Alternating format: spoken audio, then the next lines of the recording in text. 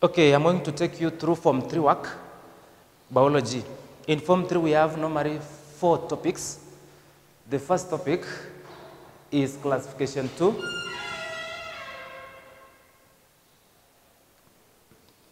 That is the first topic. The second topic is ecology. The third topic is reproduction. That is reproduction in plants and animals. Then the fourth topic is growth and development. Growth and development. So allow me to take you through the second topic, which is ecology. Before I start, we must be conversant with what is ecology. What is ecology? So to start with, we start with the definition. What is ecology? Ecology is the study of interrelationships, the study of interrelationships of living organisms and to their environment. The study of interrelationships of living organisms to each other and to their surrounding and to the environment. How do we relate living organisms? You know, biology is a branch of science that deals with the study of living organisms. And the living organisms are classified into two, plants and animals. So how do living organisms interact to each other and to their environment, the immediate surrounding? For example, you as a human being, how are you relating with the immediate surrounding, the immediate environment? How are you relating with plants? Do you carry out deforestation? Do you carry out poaching? Do you pollute the environment? How do you relate with the environment? Then after understanding the definition, the study of the relationship of living organisms and to their environment, whereby insisting environment means the immediate surrounding. Then we go to concepts. We talk about concepts in ecology. Concepts in ecology, we are talking about terms. Some of the terms we are going to come across when we are going to discuss about this topic, ecology. Some of the terms you are supposed to be conversant with or to understand. The first term you are going to come across is autecology. Autecology. When you talk about autecology, we mean about the study of a single species in the ecosystem. The study of a single species in an ecosystem. For example, you are in an ecosystem, for example, talk about you are an environment like uh, Lake Victoria. You are studying about Nile perch. The study of a single species in an ecosystem. The second concept is synecology.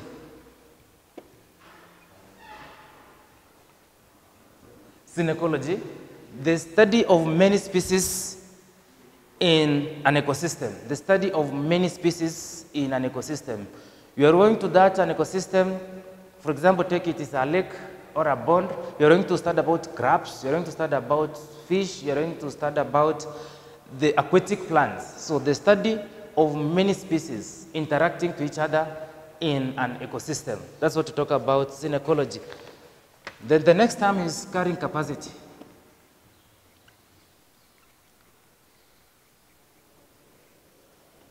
Carrying capacity is the maximum number of living organisms a particular area can comfortably support without depleting the available resources.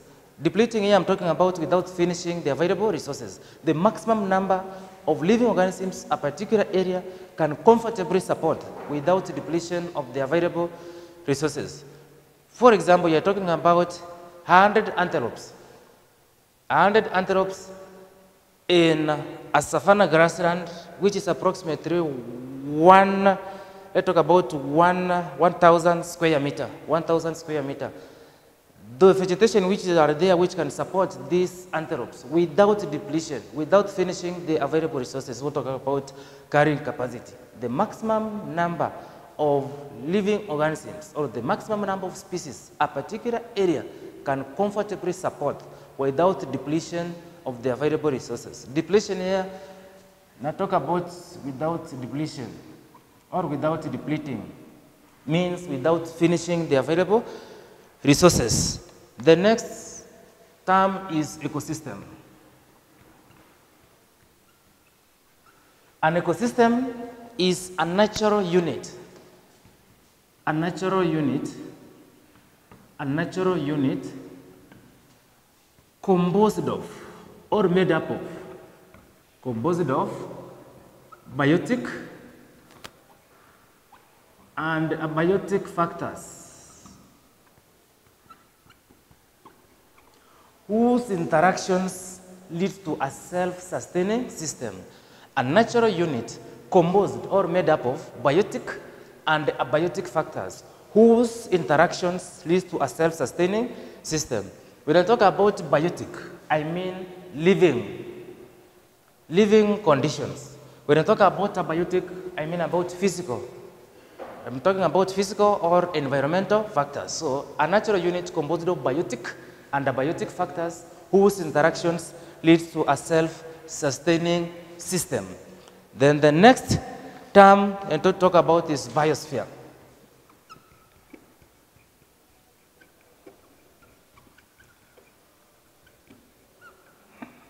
Biosphere or ecosphere, the same meaning.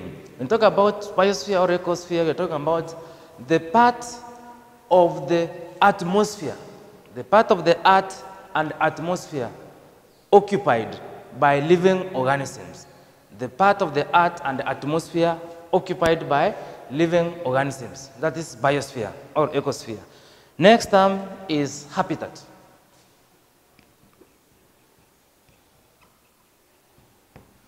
When we talk about habitat, we mean a specific locality with a particular set of conditions where living organism occupies. A specific locality or a specific location with a particular set of conditions occupied by living organism or where a living organism stays, a habitat. For example, talk about habitat, excuse me, and talk about aquatic and terrestrial. Terrestrial means land, aquatic talk about water, aquatic habitat. That aquatic habitat, that habitat, for example, if it is that Indian Ocean, it has some conditions. And with such conditions, we are having some living organisms which are occupying that place. So a specific locality with a particular set of conditions where a living organism occupies or where a living organism stays. The next, you talk about niche.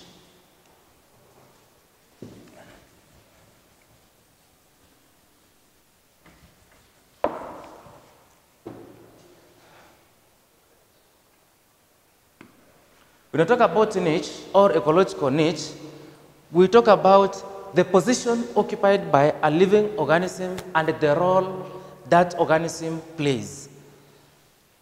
The position occupied by a living organism and the role it plays.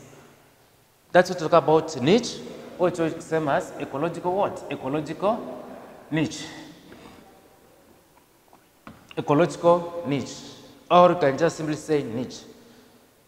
The position occupied by a living organism in a habitat and the role it plays. The position occupied by a living organism in a habitat and the role it plays. Remember I said habitat means a specific locality with a particular set of conditions where a living organism lives or where a living organism occupies. Then after understanding some of those few terminologies we are going to come across, the next we can talk about the factors in an ecosystem. Factors in an ecosystem. Factors in an ecosystem. Remember, later on, when we started, I said, when we talk about this topic, ecology, the first one, I started with the definition. After defining the definition, we came to concepts. Concepts means the terms, terminologies used. Then the second one, the third one, sorry, we're supposed to talk about factors. Factors in an ecosystem. After talking about factors in an ecosystem, then we're going to talk about energy flow in an ecosystem. Energy flow in an ecosystem. Under energy flow in an ecosystem, we're going to talk about food chain. You talk about food webs. Food webs. After talking that, we go to what we call nitrogen cycle. After nitrogen cycle, we go to human diseases. Then we talk about pollution. Pollution. This is just a breakdown about the topic ecology. I've defined ecology specifically saying is the study of interrelationships of living organisms and to their environment. How living organisms are relating to each other and to their surrounding. Environment here means surrounding, the immediate surrounding. Then we have said some of the terminology, some of the concepts which are we are going to come across when we are going to discuss through this topic ecology. Some of the terms used, terminology, some of the concepts you are supposed to be familiar with. we have defined some We've talked about synecology, said about autecology, autecology, the study of a single species, synecology, the study of many species interacting to each other. We have talked about carrying capacity. I said it's the maximum number of living organisms a particular area can comfortably support without depletion of the available resources. Then we have talked about biosphere. I've said biosphere is the part of the earth and atmosphere occupied by living organisms. I've talked about niche or ecological niche, said the position occupied by a living organism in a habitat and the role it plays in that habitat. And remember, I said habitat is a specific locality with a particular set of conditions. Then after that, now we talk about factors in an ecosystem. That is now the second, the third, the third. As I said, this is just the breakdown factors and an ecosystem. I said, what's an ecosystem? A natural unit composed or made up of biotic and abiotic factors whose interactions leads to a self-sustaining system. I said biotic, we're talking about living, living conditions. We talk about abiotic, non-living or physical factors or environmental factors. So how does biotic, living and non-living, interact to each other and at the end leading to a self-sustaining system? Nothing coming from outside, so it's leading to a self-sustaining system. So those factors in an ecosystem are classified into two. The first one is biotic. Biotic factors. And the second one is abiotic. Abiotic factors, I'm saying these are physical, I'm saying these are non-living, or can just say these are environmental factors. How does the living and non-living interact with each other and at the end to bring about a self-sustaining system? When talk about biotic factors, I'm saying these are the living conditions in an ecosystem, then these biotic factors are further or are grouped into five. The first one is competition. The second one is parasitism. parasitism. The third one is symbiosis. The fourth one is predation. The fifth one is saprophytism. Saprophytism. Biotic factors, living conditions in an ecosystem. When we talk about competition, competition, what is competition? Can say just competition is a struggle. The struggle to survive or struggle to outdo each other. Remember we said ecology, the study of interrelationships of living organisms to each other and to their surrounding or to their environment. When you talk about competition, competition I'm saying is the struggle to outdo each other. You are competing, you are struggling. So when you talk about competition here, there are two types of competition. We have interspecific and intra-specific competition. Competition can only occur, you can have this word competition if the resources are scarce. Scarce, the same as limited, not enough. Competition can only and only occur when the resources, which, the resources which are available are not enough to sustain the living organisms. It is not enough, it is limited. Then I'm saying there are two types of competition in an ecosystem. Talk about interspecific and intraspecific. Interspecific competition is the competition between same species. Same species. You talk about starting from, we start with interspecific, not intraspecific.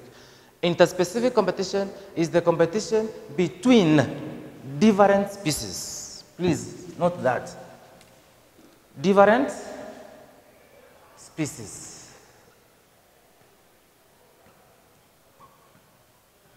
Interspecific. You can say interclass competition between this class and the other class. Inter.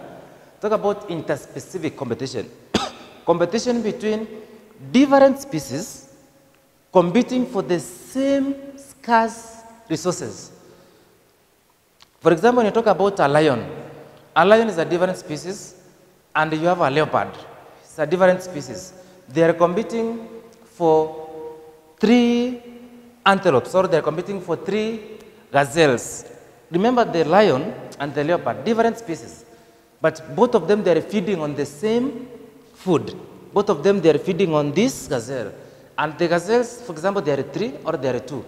And you have here, you have 10 lions, you have here 50 leopards. They are competing for the same scarce resource, interspecific.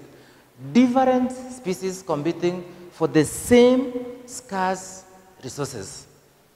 Like you are a human species, a human being, and we have, for example, a monkey. And both of them, they are competing for scarce maize crops, for example, in a field, interspecific. Intraspecific is the competition between same species competing for the same scarce resource. Remember, competition, I said, can only occur when the resources are limited or scarce, not enough, and the organisms. Competition can only occur when the resources is insufficient or scarce, not available. So I'm saying interspecific, different species competing for the same scarce resource.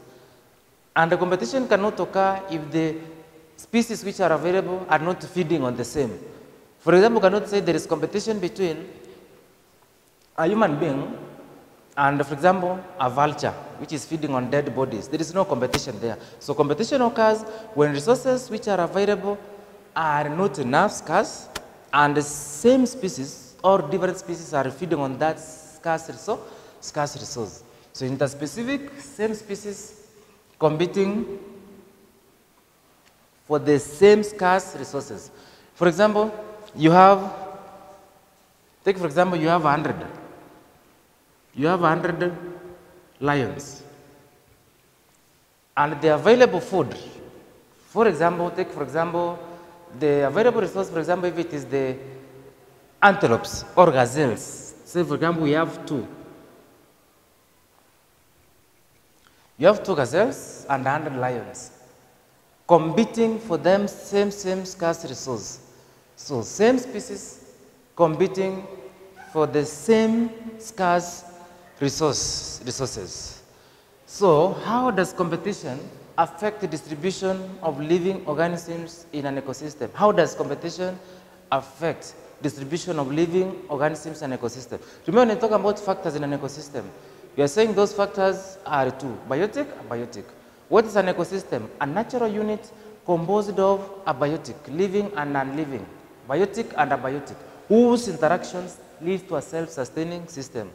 So, how does competition affect the distribution of living organisms in a, a habitat? When you talk about the two types of competition, interspecific and intraspecific. Take, for example, Nairobi National Park.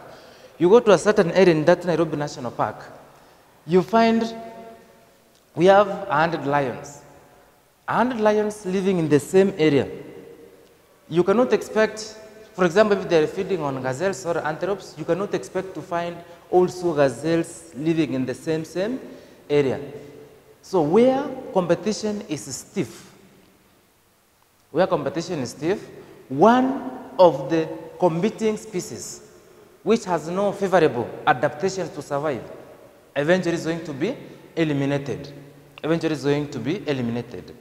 And finally, under competition, organisms compete for food, also what they say nutrients, mates, can talk about space, can talk about light. Organisms compete for resources like food, or nutrients. They compete for mates. They also compete for space. For example, you take a place which is overcrowded, overcrowded by crops. For example, you take this room. You have uh, 1,000. You have 1,000 trees of, for example, mangoes. At the end of the day, you're going to find that some of the mango species are going to dry and wither off due to what? Due to competition, water, nutrients from the soil, due to competition for light. So you'll find some are going to grow tall, tall, tall, which have favorable adaptation to survive, and those ones which are going to be now undercover, they're going at the end of the day die or wither off and dry off. The next, we talk about parasitism. When you talk about parasitism, it is a mode of feeding. It's a mode of feeding relationship where one organism, it's a mode of feeding relationship where one organism called the parasite, mode of feeding relationship, parasitism, mode of feeding relationships mode of feeding relationship where one organism called parasite lives in or on another organism another organism called the prey. A mode of feeding relationship where one organism called the parasite lives in. In means inside or on, outside. Another organism called the prey. Then from there we have we have two types of parasites. Two types of parasites. We have endoparasites and we have ecto parasites. That's when I'm saying where one organism called the parasite lives in. If that parasite living inside a living organism, on another organism called, not called the prey, on another organism called the host, I'm sorry, called the host. Mode of feeding relationship where one organism called the parasite lives in or another organism called the host, called the host. Sorry, excuse me, not the parasite, called the host, where one organism called the host. A mode of feeding relationship where one organism called the parasite lives in, inside or on, outside, another organism called the host.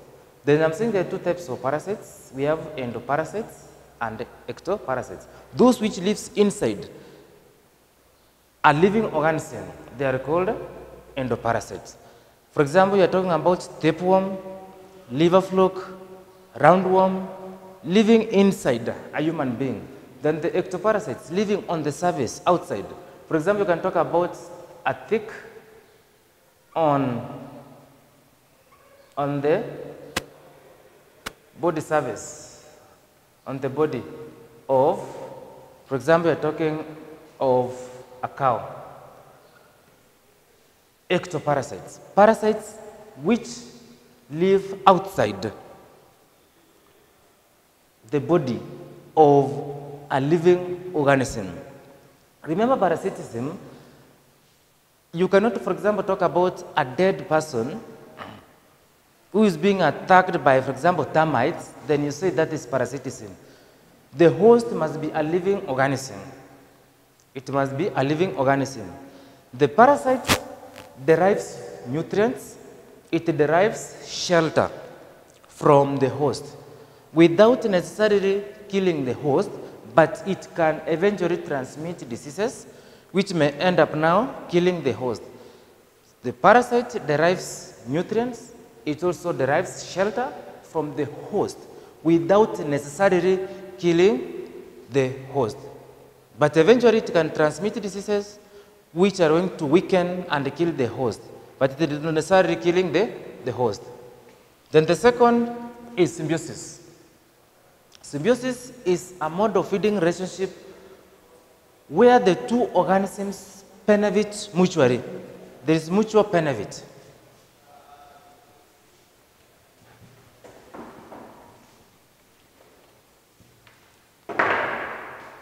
symbiosis, two living organisms benefit mutually.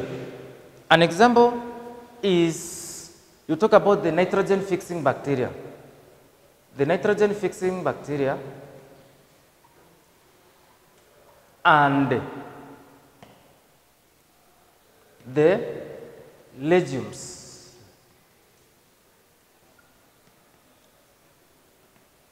and the leguminous plants. The nitrogen fixing bacteria and the leguminous plants is an example of symbiosis relationship.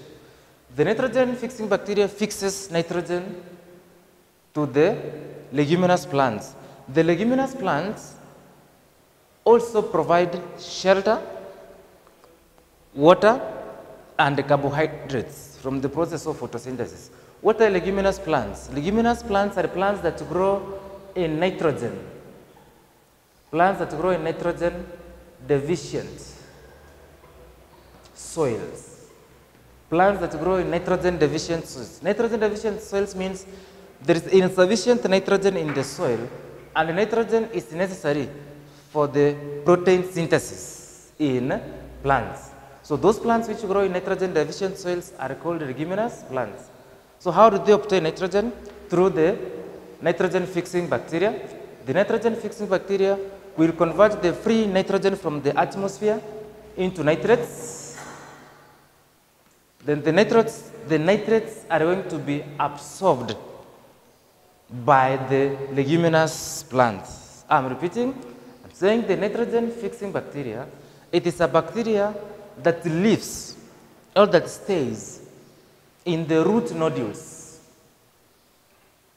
In the root nodules of leguminous plants. What are root nodules? If this is a plant This plant is growing there. These are the roots. These are the roots. These are the roots. This is a nodule. The nodules are swellings. They are the swellings. Nodules are swellings which are shown by leguminous plants. Those plants which grow in nitrogen deficient soil. There is insufficient, not enough nitrogen in the soil. And nitrogen is necessary for the protein synthesis by these plants. So how do they benefit mutually? Mutually means if I'm benefiting, you are benefiting. If I give you this, you give me this. As much as not in equal measure. The nitrogen fixing bacteria, also which is called rhizobium, leaves stays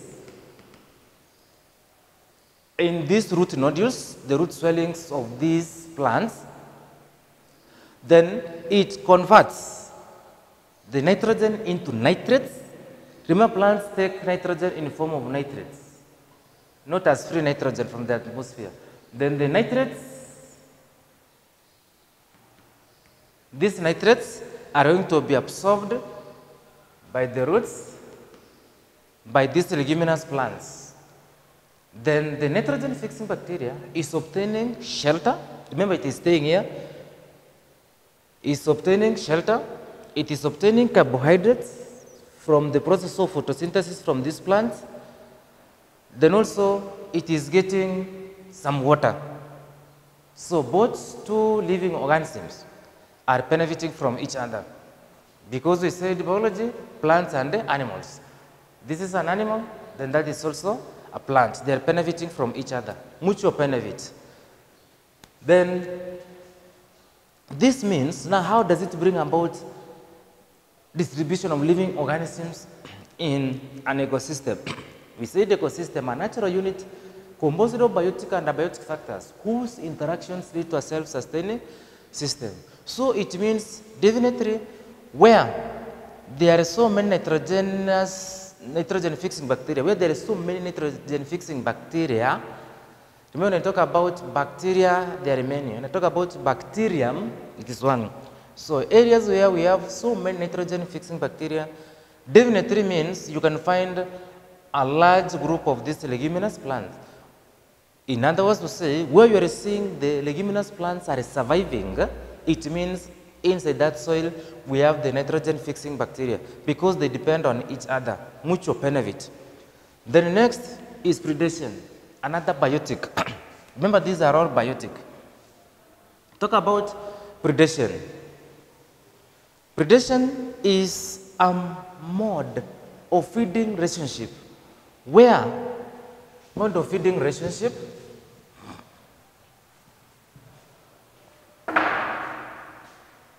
talk about predation. Sorry predation.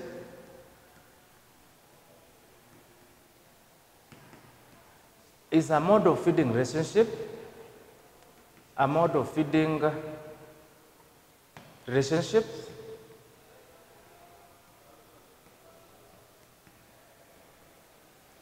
Where one organism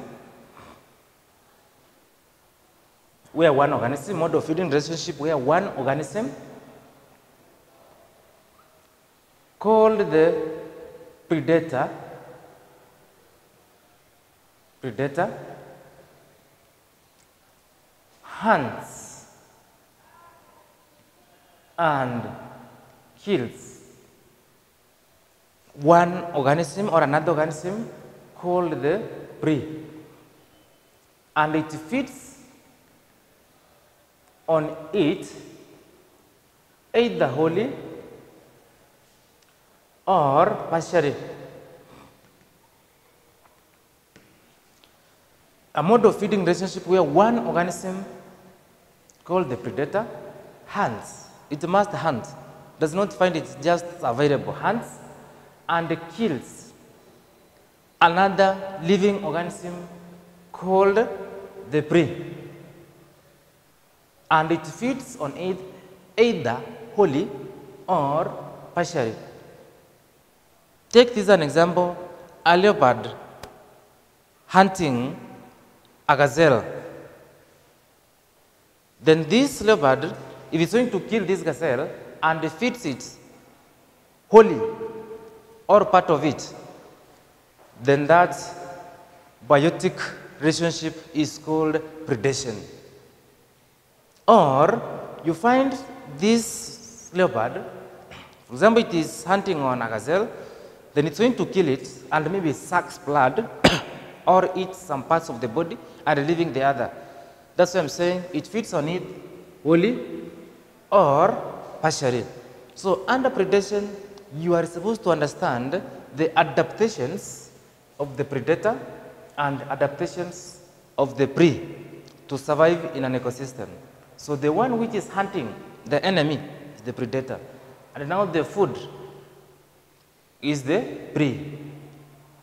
Can talk about the adaptations of the predator. Predators. Most predators, they have strong jaws for grasping and tearing the flesh from the prey. Some, like the hawk, they have a sharp eyesight so that they can, from a distance, they can be able to sense and locate the position of the prey. Then also can talk about the adaptations of the prey. Most preys, some of them they camouflage. When talk about camouflage, they just go and hide in a background or in an area which resembles that background. Camouflaging. Let me give an example. When talk about camouflage, talk about a chameleon. When a chameleon comes on this whiteboard, it can change the color to look white. So that when the predator is coming, the enemy is coming, can just pass by without necessarily noticing that the prey is around. Some mimic. Some mimic. When talk mimicking, they just copy the behavior of unedible animals. For example, you talk about the walking stick insects. It just mimics an organism which is non-edible, which is not edible, so that when the enemy, which is not the predator, is passing by, cannot be able to notice like this is food. Even some, they produce bad smell, which can scare away the predator, the enemy. Then the next talk about saprophytism. Before saprophytism, then you talk about predation. How does predation affect the distribution of living organisms in an ecosystem? An area where we have so many predators, when we have so many predators, it means in that area there are so many preys. Of course, we are finding there are so many people crowded there. It means there is food. There is food, for example.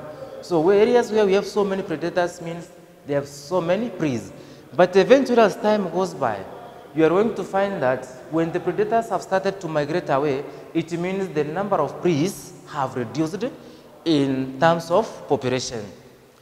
So areas where we have so many predators means there is sufficient prey. But eventually when you see the predators are dying over, they are migrating, it means the preys are insufficient. The next is saprophytism. When we talk about saprophytism, it is also a mode of feeding relationship where one organism called the saprophytes, one organism called the saprophytes feeds on dead, decaying. It feeds on dead, decaying organic matter. That is saprophytism. One organism called the saprophyte feeding on dead, decaying organic matter. Remember, don't confuse saprophytism with parasitism.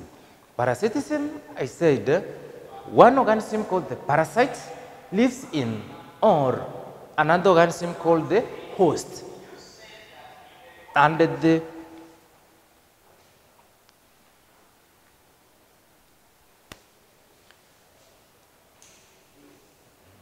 okay I'm saying don't confuse parasitism and uh, saprophytism. Parasitism, for example, when somebody calls you a parasite, somebody can tell you you are just a parasite. You are a parasite to your parents. What does it mean? You are just feeding, you are just taking their money for school fees, they are clothing you, they are feeding you, and at the end of the day, there is nothing you are taking home. You are not taking a result at home. So it means you are a parasite. One organism feeds, one organism lives in, or another organism called the host. And the host must be living. But when you talk about saprophytes, uh, an organism which is living and is feeding on dead, decaying organic matter. For example, you talk about the vultures. The vulture which feeds on dead, decaying bodies. Or you can also talk about some of the decomposers are also saprophytes. Talk about the bacteria, the fungus, which is working on a dead, decaying organic material.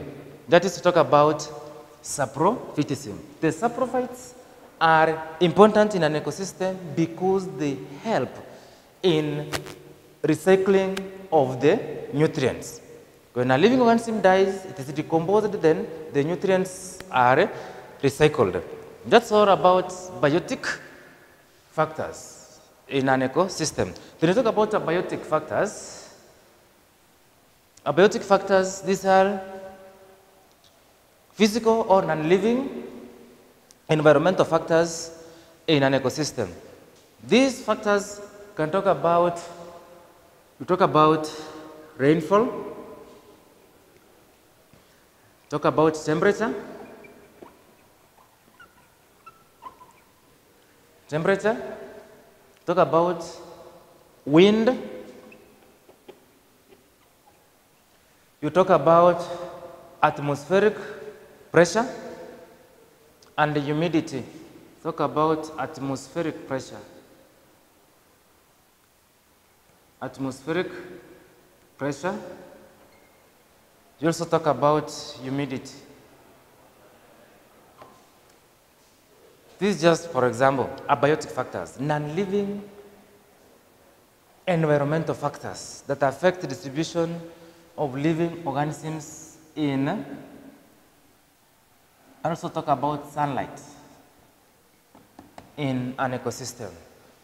When you talk about rainfall, majorly we are talking about source of water. Areas with well-distributed rainfall tend to have well distributed of living organisms.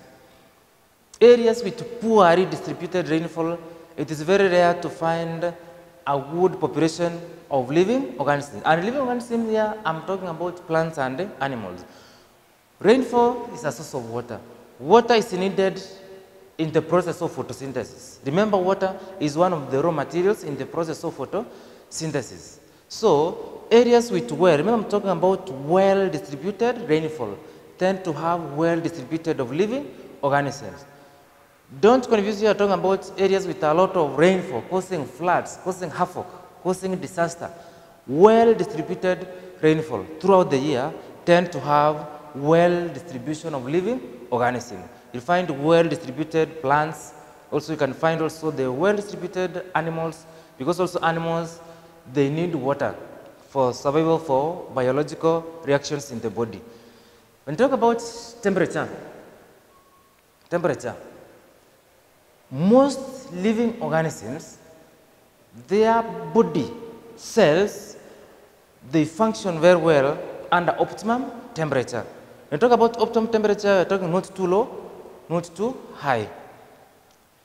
Because of the biological reactions in the body, which normally depend on optimum temperature. Then talk about wind. Wind is advantageous and disadvantageous. How wind is advantageous? Wind assists insects, those insects which search for scent, to go the, for the sake of scent to go and suck nectar. I'm sorry for sucking nectar. The wind wafts the scent then the insects, they follow that scent, that smell, to that area where, for example, that nectar is available. But wind also, I'm saying it's also advantageous in pollination. For example, the wind pollinated flowers. When you talk about pollination, the transfer of pollen grains from the anther to the stigma, vice versa. So the wind is necessary in uh, pollination. It's also necessary in dispersion, dispersal, the spreading of the seeds, the seeds. But wind is advantageous because strong wind can break branches, can lead to the falling of fruits and the seeds before maturity. So areas with strong wind, you tend to have poorly populated living organisms, especially the, especially the plants. Because remember also wind can lead to excessive loss of water from the body surface. For example, strong wind can lead to excessive transpiration, which can lead to permanent wilting. Permanent wilting means now the death of the plants. Then talk about atmospheric pressure. When you talk about the mountainous areas, the mountainous or high altitude areas, the rate of atmospheric pressure is very high. It's very low, sorry. And when the atmospheric pressure is very low, it tends to lead to increase of water loss from the plants. But when the atmospheric pressure is high, the rate of transpiration is low. Then humidity, the amount of water vapor in the atmosphere. The amount of water vapor in the atmosphere. When humidity is low, the rate of water loss from the body surface in form of evaporation or transpiration is high, which may lead to, in case of plants, to permanent wilting. So when humidity is high, the rate of water loss from the body surface is low. But if humidity is low, the rate of water loss from the body surface is high, which may lead to desiccation and permanent wilting in case of excessive transpiration. Then after talking about that, that's the biotic factors, living. You can see these are non-living environmental factors that affect the rate of distribution of living organisms in an ecosystem. Biotic are living factors that affect the distribution of living organisms in an ecosystem. Then from there we can go to the energy flow in an ecosystem. Energy flow in an ecosystem. Energy flow in an ecosystem. Energy flow in a natural unit made up of biotic and abiotic factors whose interactions lead to a self-sustaining system. Can You see how these abiotic and abiotic they are interacting with each other and at the end there is a self-sustaining system. Then how does energy flow in an ecosystem? Remember, the source of energy, the sun, is the main source of energy in an ecosystem. The sun is the main or the major source of energy in an ecosystem. Talk about that the sun. Then you have here green plants. You have green plants. The green plants are going to trap light in the process of photosynthesis. As we know in the first stage of photosynthesis, that's the, the light stage, photosynthesis. So the light energy when it's being trapped, the plants are going to use this source of light in the process of photosynthesis. Because we know the light is the one which is used in the process we call photolysis or photolysis. Photolysis, the splitting of the water molecule into hydrogen atoms and oxygen gas. The hydrogen which are going to combine with carbon 4 oxide in the dark stage, in the dark stage to make the carbohydrates, the simple sugars.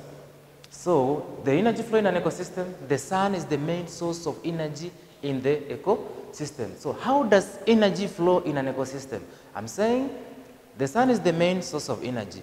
Then the plants, the plants, specifically I'm talking about green plants, they are normally called as producers. All living organisms, they depend on uh, plants. The plants are the producers. The plants are the producers. Animals can obtain energy either directly or indirectly. Directly, how? By feeding on plants. For example, you are feeding on cabbages, you are feeding on kales, you are feeding on groundnuts, or indirectly by feeding on other living organisms. For example, you are feeding meat from the chicken or meat from the camel. The camel had already been feeding on green plants. So that is indirect, indirect, not direct. Then the energy flow in an ecosystem flows from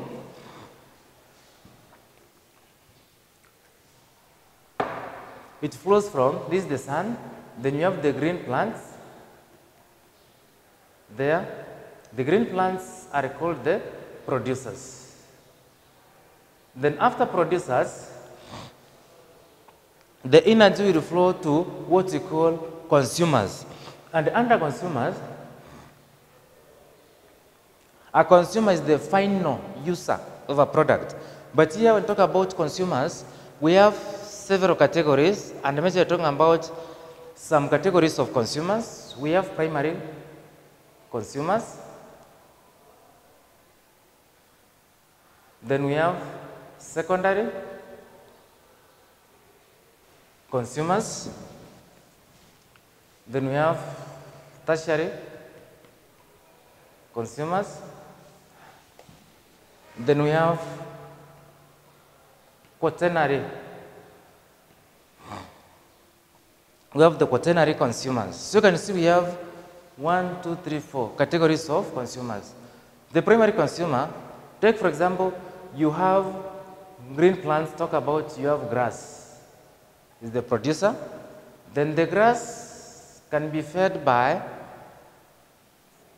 camel.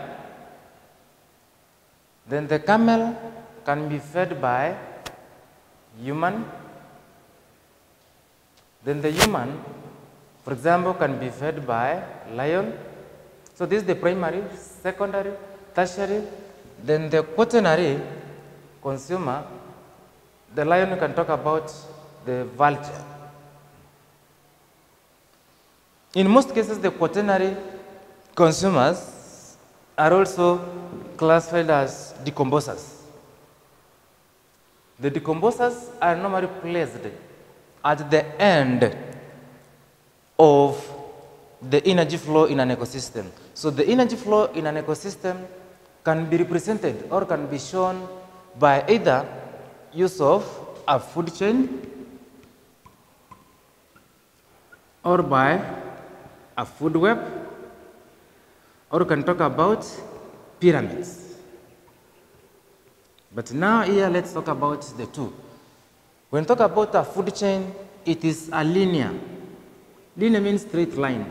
It is a linear representation of feeding relationship in an ecosystem. The linear representation. And when we talk about a food chain, we normally use arrows. The arrows normally show the direction of energy flow. In most cases, you've been hearing from either from the primary section, from the primary level, that the arrow points the eater. The arrow points the eater. It points the eater, but in the actual sense, it is showing the direction of energy flow. So it means this arrow means the camel feeds on the grass. The human feeds on the camel. The lion feeds on the human. When the lion maybe dies, it's going to be fed by the vultures.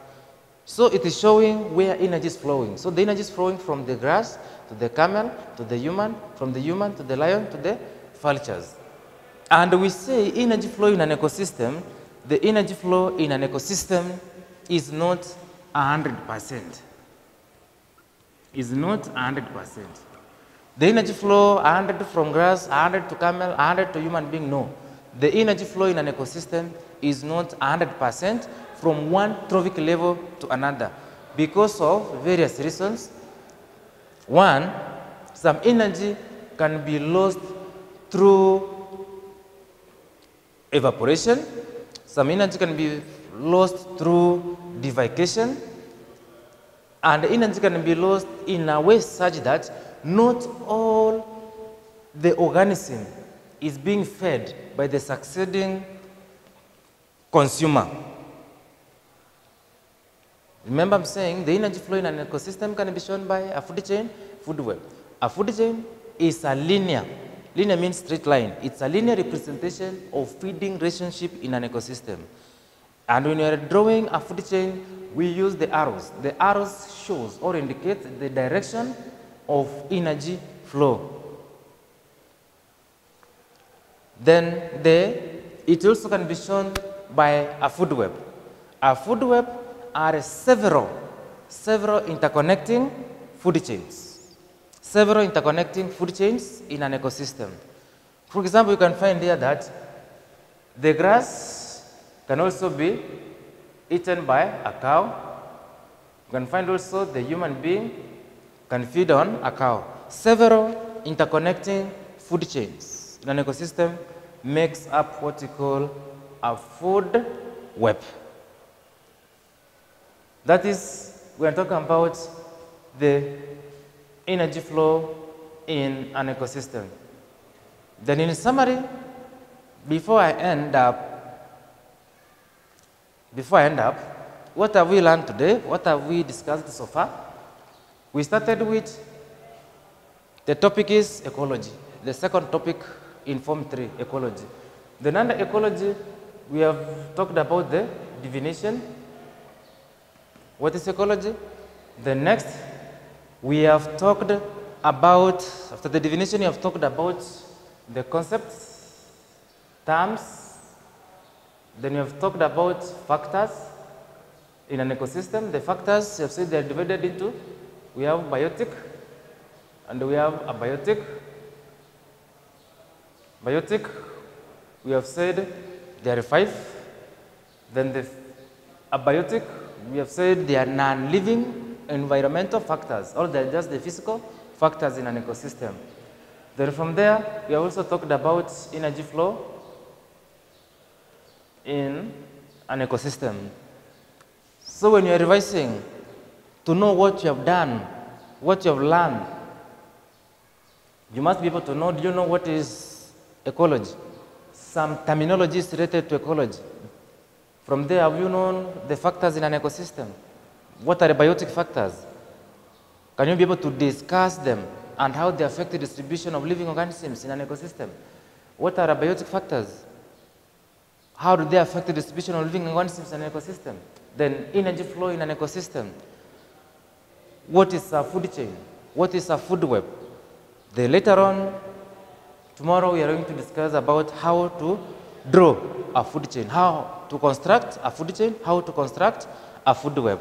Then later on, we'll go to the nitrogen cycle, human diseases, and pollution. Thank you so much.